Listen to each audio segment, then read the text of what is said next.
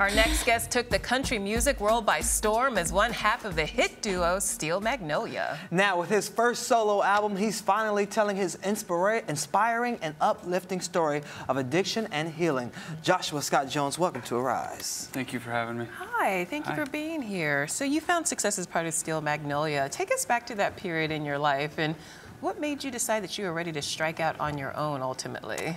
Well, I, um, you know, we had been a duo for several years, and uh, we just kind of came to a point where I had a lot to music, I had a lot to say. I think Megan did too, and ultimately, that's what kind of led to our um, wanting to do separate projects. So, you know, and so here I am. Well, and I remember that everyone loves that song. was it Keep on Loving You that was out? Why do you think that resonated so well with audiences?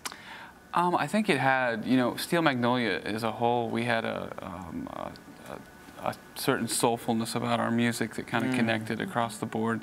And I think that's what really resonated with most people. I mean, on a bigger level. So um, I was grateful that, for that act and everything that it, it's brought me.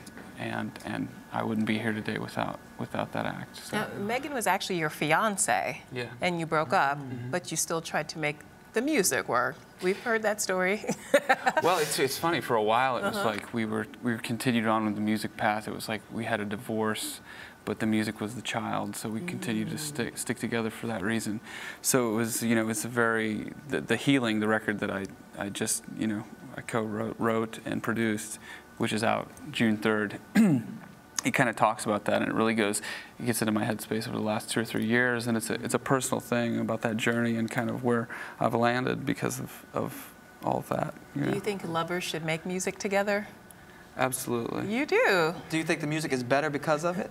absolutely Really? I think mm. that you know there's a certain tension that we had too you know and mm, yeah. which is a good thing you know mm. tension's good if, if you know where to where to put it and, and and how to put those take those emotions and make them artistic and put pour that into your into what you love to do you know So what was your process like when you're writing together? Is it just like after a very lovable moment, you all start, let's write a, let's write a song?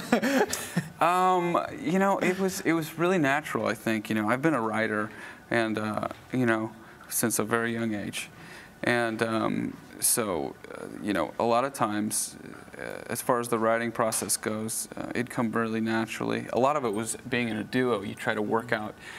I mean, as you two probably know, you got to know when to not step on each other's toes and everything that goes into the whole dog and pony show of being in a duo. I feel like that's really the challenge for me now is to take this record and um, translate from the fans we had as a duo, where the energy's not going to be as much of me on stage with the banter between the two of us, but now more between me and the audience. It makes it more mm-hmm. personal in that way, and I think that's the biggest challenge, and, and I look forward to it. So yeah. Let's talk about the album, The Healing. I mean, that title alone just evokes emotion, and clearly, if you listen to the album, you've you've been through a lot. Can you talk to us about that? Yeah, I mean, it's it really it's a concept record, and I in 2011 I went made a public statement that I did go into a rehab center, and um, I kind of hit the brakes. You know, I had to take a long look at, at where I was and how I'd gotten to where I where I was, and and I kind of. Uh, um, everything kind of came to a, a grinding halt, um, you know, because of because of all that. So um, I was able to just kind of like reassess everything, and and this record's really comes from an emotional place, you know. And I, I while I was there, I wrote a song called "Just How Just How a Heart Breaks," mm-hmm. and it kind of it kind of kicked off the idea of the record and and everything. So.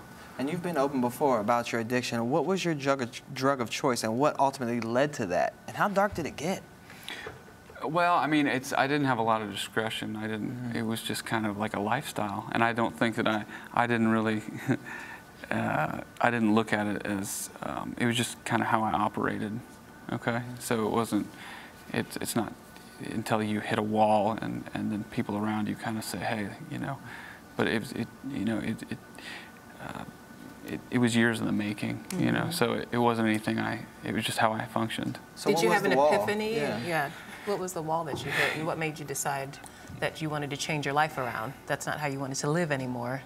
Well, I mean, you know, it's it's funny. I'm so far removed from that time in my life now because I've grown so much, and it's like I'm in just a, a different space, really, and that's what the healing is really about. But I think I walked into an intervention, to be quite honest. Oh.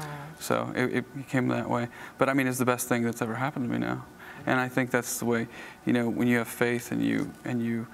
Um, you think you're thankful for what you've been through because that's what makes you know pressure makes diamonds, and I feel like that's what this record has become to me. So, And do you think that's necessary to make those diamonds? Is to have this struggle, to ha- have this testimony, to be able to write the music? look, I think that struggle is can be blessing in disguise on a lot of levels, and I think that it teaches us humility and humanity and, and everything that goes along with it. And and um, I think it's I don't think it's necessary. I think in the next chapter of my life, I'm ready to be more lighthearted and, and fun, you know. But I think that this is the closing chapter, and it's really taking people on a journey and trying to move to the next segment and, and make a smooth transition. I, I really look forward to it, and I'm grateful to be here. Why was it important for you to be so honest and forthcoming on this work? Um, I feel like as a writer and just uh, as the direction that music's going and everything like that, I don't feel like I had time to be anything but candid Yeah. with this because I didn't want to, you know, if you're going to take a shot at something, you want to do it on your own terms because if you fail, you want it to be your own fault. I feel like there's No regrets. yeah No looking back and saying I should have. exactly yeah I think that's where that's a big part of it also. So. I love the sound of your music. How would you describe your music? Because you're not only singing about like fishing holes and your, you know, your dog getting hit by a truck. Yeah. Um, well, that's funny. I, I call it country soul rock. Country soul rock. Yeah. So I mean, I've as a young artist or young person, I was just always influenced by all kinds of music. I was a sponge, really. So it, it um, I, you know, I just love all kinds of music, and I've kind of tried to put it into a carriage that makes sense, and and you know everybody can hopefully enjoy. All know. right, so Joshua, what's next for you? Next for me, touring. Touring. touring, Oh, good. taking the record and, and making it, uh, putting it into a live show, and, and taking it out and, and just that's that's where the buzz is now. Through the buzz. Yeah. Can't wait for it, and congratulations. Good luck with the healing. Thank you, Shannon. All right. You're watching Arise Entertainment 360.